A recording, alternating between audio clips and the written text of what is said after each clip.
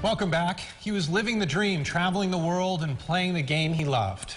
Many of you may remember professional hockey player Nathan Paetsch found himself in a bad situation a few years ago. As Leah Lando reports, it's what he's chosen to do since then that makes him so extraordinary.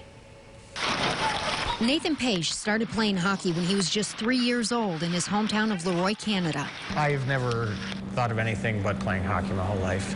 He's played for the Amerks, Sabres, Columbus Blue Jackets, a team in Germany, Syracuse, and Grand Rapids. He was living his dream until he was forced to learn a hard lesson be careful of uh, who you surround yourself with and uh, influences that you let into your life. Back in 2015, Nathan was sentenced for his role in an illegal gambling ring, but it's what he has chosen to do since then that sets him apart. The father of two works with kids on a regular basis and shares his story.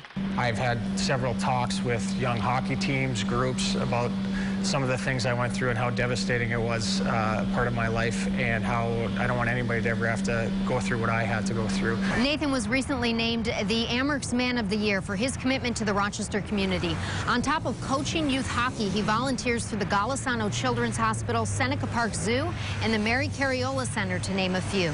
It's a huge honor, obviously.